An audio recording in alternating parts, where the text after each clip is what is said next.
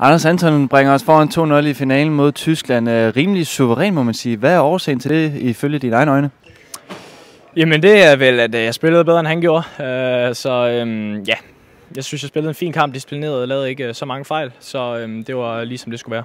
Hvad er det, du øh, føler, at du gør bedre end øh, ham i dag derinde? Altså du siger, at du spiller bedre end ham. Hvad, hvad er årsagen til det? Jamen, jeg laver markant færre fejl, end han gør. Um, det, det synes jeg egentlig er den, er den helt store forskel. Øhm, han prøver en masse ting, og bliver måske også presset til at spille lidt skarpere, end han lige har lyst til, så der kommer også en masse fejl fra ham. Øhm, ja, det synes jeg kampen var meget stor præg. Der var ikke sådan specielt meget rytme i det, fordi at han spiller, som han gør, ikke med, det er meget chubang all in, så ja.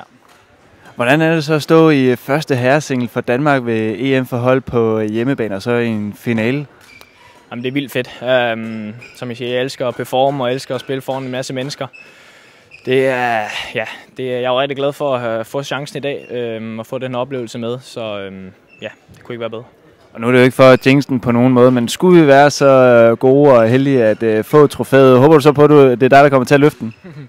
ja, det ved jeg ikke. Jeg tror, det er sådan noget med, at den yngste tager den eller sådan et eller andet, så uh, jeg ved, vi må lige finde ud af, hvem der er den yngste på holdet, men det ved jeg sgu ikke.